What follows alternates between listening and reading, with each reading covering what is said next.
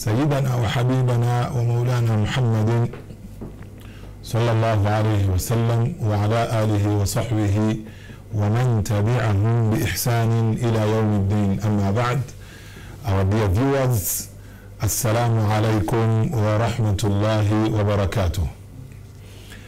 We do praise the almighty Allah تبارك وتعالى the Lord of all that exists. Allah the most gracious the most merciful the master of the day of judgment it is him alone that we do worship and it is in him that we do put all our trust. We pray that Allah guides us to the straight path the path of those unto whom he bestowed his favors and uh, not the path of those who and his anger nor that of those who went astray. Allahumma ameen. May complete peace salutations mercy and blessings be showered upon the very last the seal of prophethood, Muhammad sallallahu alayhi wasallam. We pray that Allah blesses this prophet, his companions, his family, and all those that shall follow his path till the day of judgment. Allahumma ameen. Alhamdulillah. Our dear viewers of Salam TV, mashallah, we are uh, we are back with our program, The Message. And Alhamdulillah, we have carried with us a message for you. Of course, if you must remember, we said that we actually, this program is called The Message, and uh, we derive whatever we remind ourselves about from the Quran. Of course, that is the revealed message from Allah Ta'ala to the Messenger Muhammad sallallahu alayhi wasallam. And we also get the message from the ahadiths from the sunnahs of the Prophet Muhammad sallallahu alayhi wasallam.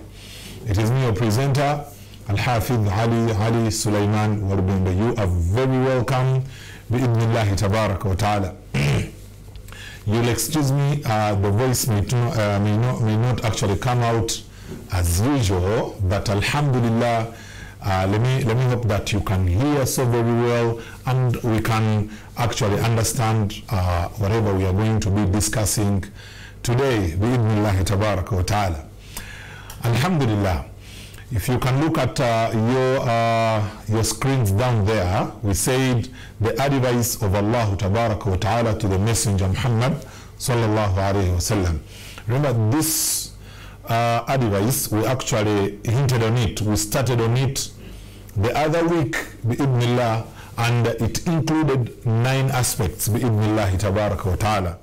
Nine pieces of advice, and then we, uh, we actually tackled only one, and we say that the next time we meet, inshallah, bi'idnillah, we shall be continuing with the rest. Let me hope you are seated you have your pens, your books with you. Maybe, inshallah, you never know, you can note down something, bi'idnillah, and then you benefit out of it. And you can also uh, reach out to some other people, uh, your fellow Muslims, and uh, you remind them, bi'idnillah, tabarak wa ta'ala.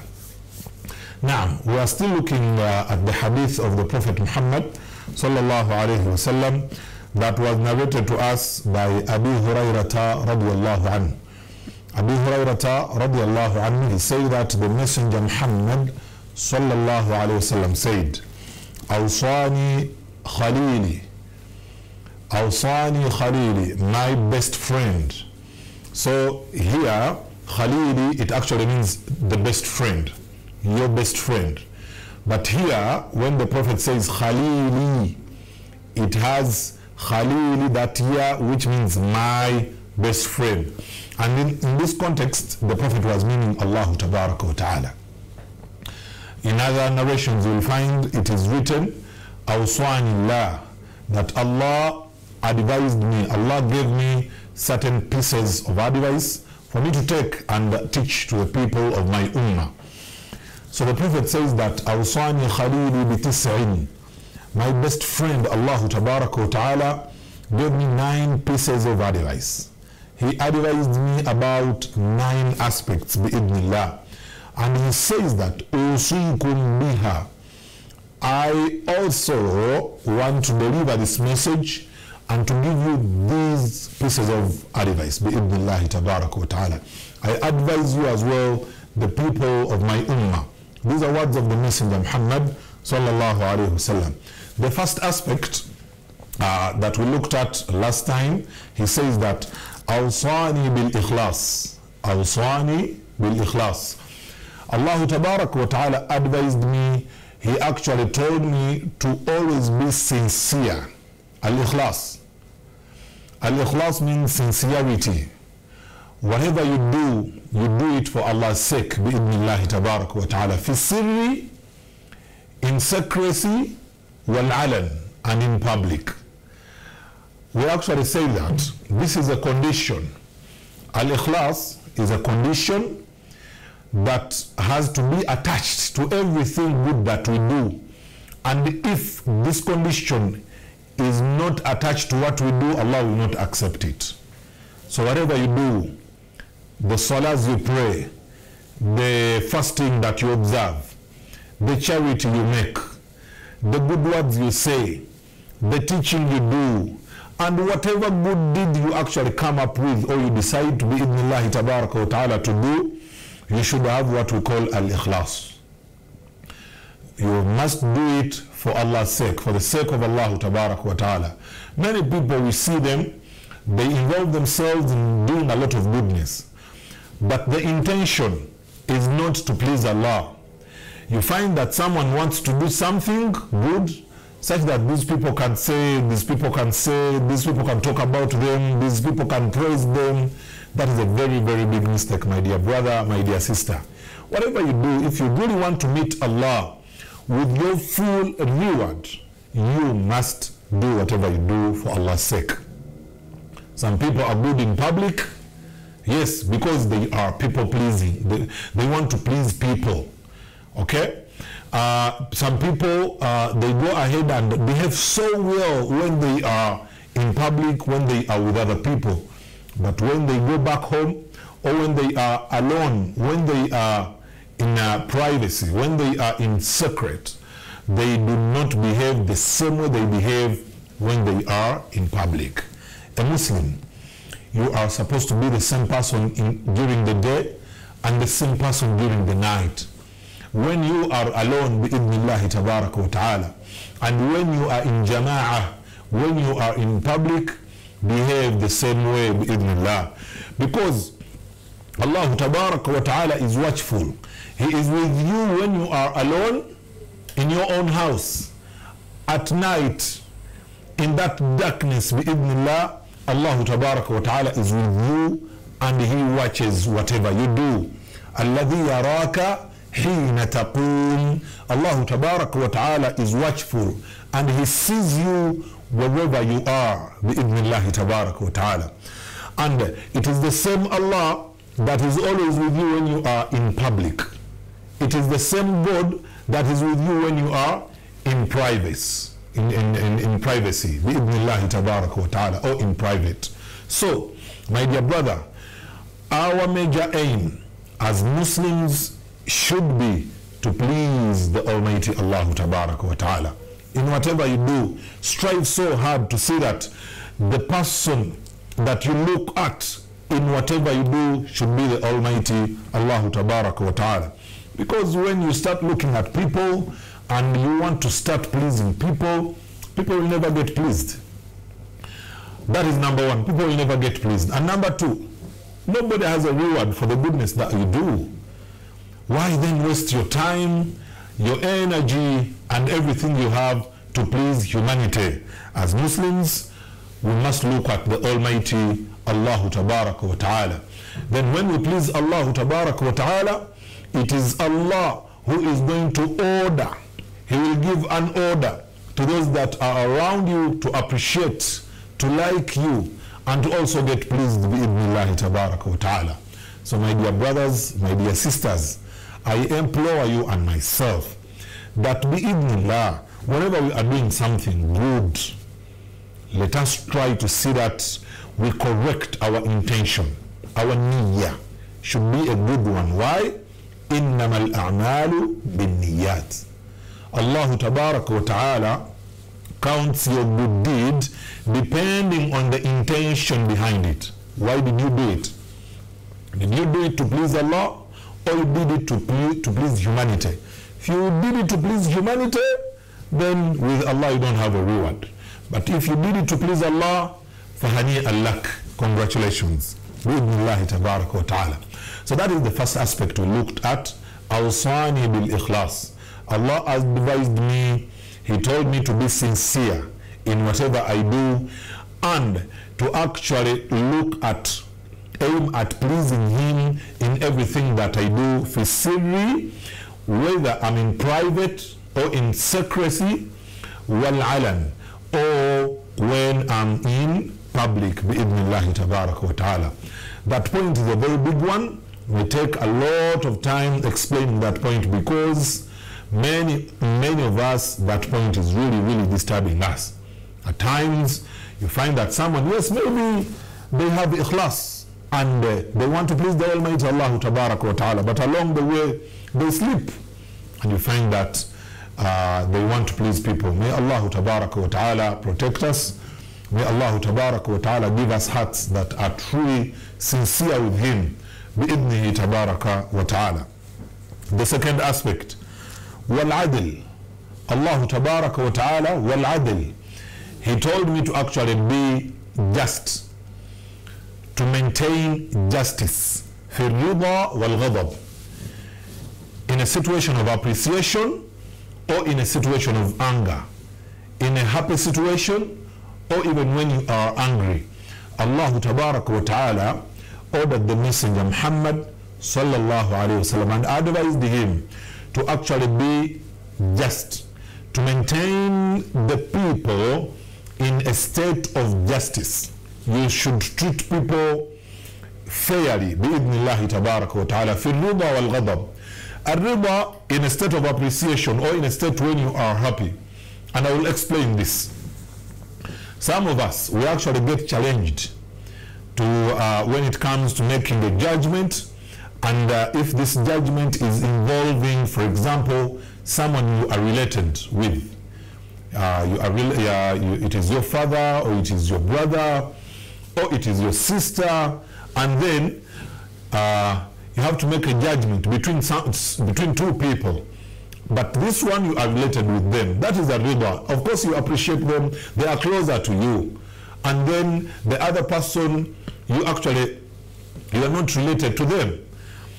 Allah wa ta'ala advises you. He advises us like he did giving the piece of advice to his messenger Muhammad sallallahu alaihi wasallam that he should maintain justice you should maintain justice even when you know someone even when you don't know them بإذن الله تبارك وتعالى that is why the Prophet Muhammad sallallahu alaihi wasallam was the best example. He was the best example. لقد كان لكم في رسول الله أسوة حسنة. Allah tabarak wa ta'ala has put for you the best example in the messenger Muhammad sallallahu alaihi wasallam for you. That is why uh, one day the Prophet Muhammad sallallahu alaihi wasallam mentioned words and these words they actually showed how fair he was, how he wanted to actually maintain the people in a state of justice. He said, when Allah wa ta'ala had revealed the verse in Surah, uh, Surah Al-Ma'idah, the verse that says that وَالسَّارِقُ وَالسَّارِقَةُ فَقَطَعُوا أَيْدِيَهُمَا جَزَاءً بِمَا كَسَبَا نَكَالًا مِنَ اللَّهِ that asariqu, a thief, male, wasariqatu, and a thief, someone who steals, female. Allah says, فَقَطَعُوا أَيْدِيَهُمَا When uh, they are found guilty, you are supposed to cut off their hands. Okay? That is the punishment that they actually get when they are found guilty of theft. So, you imagine a situation comes and then you are the judge, you are the imam, you are the leader, you are the person that is supposed to make a judgment. And then they bring to, to you, they bring before you. And when you look at this person, they, that this one has stolen money, and then there is evidence the person is guilty, but this is your brother, this is your sister, This is uh, un- un- unlike that. This is your, you are related to that person. In other words, will you be able to go ahead and exercise the punishment? That is why the Prophet Muhammad sallallahu alaihi wasallam said, said, "ولو كانت فاطمة بنت محمد," and if it was Fatima bint Muhammad, Fatima, my daughter, the daughter of Muhammad, that had stolen, or if he is, she is found guilty of stealing, لَقَطَعْتُ يَدَهَا I would go ahead and cut off her hand. But Alhamdulillah, look, these are words from the noble one, from the messenger, to Fatima bint Muhammad, the one who was one of the most righteous uh, righteous women this world has ever had. Bi'idnillahi tabarak wa ta'ala. So this actually shows that the Prophet Muhammad sallallahu alayhi wasallam always wanted to maintain people in a state of justice. You must be just when you're dealing with people. Some people, um, uh, you, you, you, might, you might look at probably the judges in courts and like that. But this extrapolates, it extends up to us, up to your house. You are the father in the house. You have children, bi'idnillah. You are a father in your house. You have, uh, you have uh, mo- more than one wife, more than one woman, alhamdulillah. You have wife number one and wife number two. How are you going to treat these women? That is why Allah Tabaraka wa Ta'ala, when it came to that part, He also advised us to be just, to be fair. He says, فَانْكِحُوا مَا طَابَ لَكُم مِنَ النِّسَاءِ مَثْنَى وَثُلَاثَ وَرُبَاعَ فَإِنْ خِفْتُمْ أَلَّا تَعْدِلُوا فَإِنْ خِفْتُمْ أَلَّا تَعْدِلُوا When Allah Tabaraka wa Ta'ala gave us freedom to marry more than one wife. You can marry two, three, or four. But if you have fear, if you feel that you can never be just, you can never treat these women fairly, for wahida, then it is better for you to remain with one. Bi'idnillahi tabarak wa ta'ala. So my dear brother, my dear sister, this does not only apply to people that uh, that have committed uh, certain sins and uh, probably they are before a judge or a leader. No, even in your house, even at home, how do you treat your children? As a mother, at some point, probably you might find that in our homes, Alhamdulillah, you, you, have children that are yours and you are the mother and there's those other children that probably belong to your husband but they are under your custody but you are not the mother to these children. How are you going to treat all these children?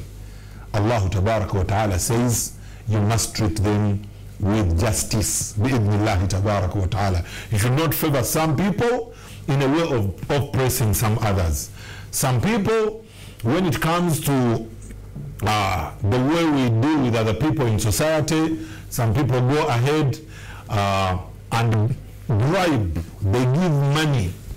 Eh? When uh, a matter goes to court, to, court, to the courts of law, someone goes behind doors and uh, uh, gives something small to, to the judge and, and like that. Eh? Allah Ta'ala has prohibited that. الله تبارك وتعالى says ولا تأكلوا أموالكم بينكم بالباطل وتدلوا بها إلى الحكام لتأكلوا فريقا من أموال الناس بالإثم وأنتم تعلمون that goes that verse goes towards people that actually bribe that give the judges someone you, so you know that alhamdulillah this person is the one that is going to sit in my case and then you go ahead and bribe them because you want the ruling to come in your favor. Yet you know that you are the oppressor, my dear brother, my dear Muslim brother and sister. Islam tells us to be just. And uh, let me tell you something where justice comes from.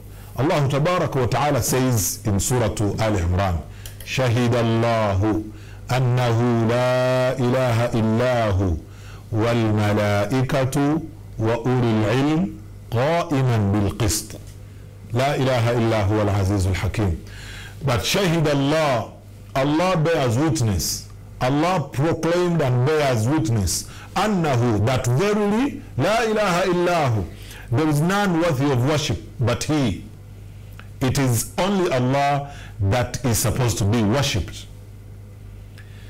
وَالْمَلَائِكَةُ وَأُولُو الْعِلْمِ And also the angels and the people of knowledge attest to the same fact. In other words, they also give testimony that there is none worthy of worship except Allah Tabaraka wa Ta'ala. But this is where I want. قائما بالقسط. Allah Tabaraka wa Ta'ala maintains his creation in a state of justice. Yes, before the Almighty Allah Tabaraka wa Ta'ala, our physical appearances don't matter.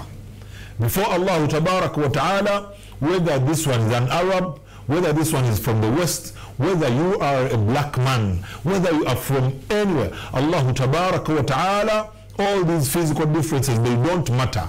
Allah treats all of us fairly and He maintains His creation in a state of justice. So it comes from the Almighty Allah. Allah tells the Prophet to maintain the creation in a state of justice and to be fair. And it is the same advice that the Prophet carries to all of us. Let us be fair. Let us treat people fairly and let us maintain the creation in a state of justice because that is the advice number two that the Prophet Muhammad sallallahu wasallam received from the Almighty Allah Ta'ala. My dear brothers and sisters in Islam, this piece of advice I told you, it has nine aspects. We shall be taking on one by one, slowly, slowly, bi'idhnillah, as we try to elaborate and we try to understand all these aspects because they are aspects that we need to understand such that we can have a successful life. And then when we go to meet the Almighty Allah Tabaraka wa Ta'ala, we meet Him when He is pleased with us. Inshallah Tabaraka wa Ta'ala, we are going to stop at that point. Remember, we have now seen two. The first one we said, Allah Tabaraka wa Ta'ala advised the messenger, he advised him about ikhlas Whatever you do, be sincere, do it for the sake of Allah. And number, في السر والعلن, whether you are in public or not in public. And then number two, al-adlu, Allah advised him to be fair, to be just to the people, في الرضا والغضب in a state of happiness, in a state of appreciation, and in a state of anger. In other words, in a state where probably you don't know someone, or you are you are in a situation where someone has annoyed you, then you must be so fair and treat them very, very fairly. ta'ala. So those are the first two. We are still continuing with our hadith, bi'idhnillah.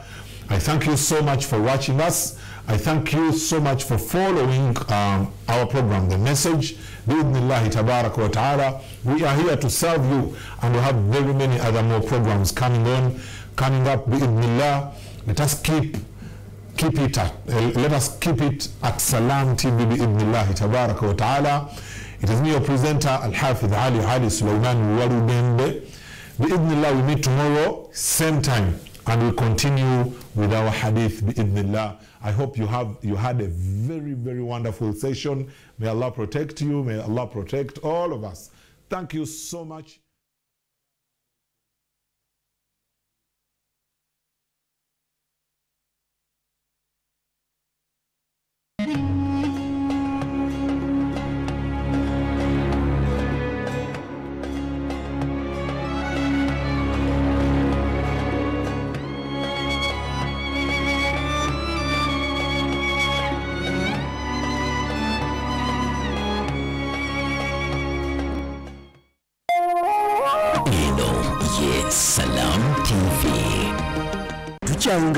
Okutuukiriza bitweyama. Anti wulira salaam community barazas. Eno enteekateeka gye twakusuubiza. Era etuuse mu kitundu kyo kati ogenda kuguka mu nkulaakulana. Ebyenfuna. Okuzzaamu essuubi. Oyongere amaanyi mu byokola. Saako okutegeera eddiini yo. Salaam community barazas. Yakubeera mu bitundu ebyenjawulo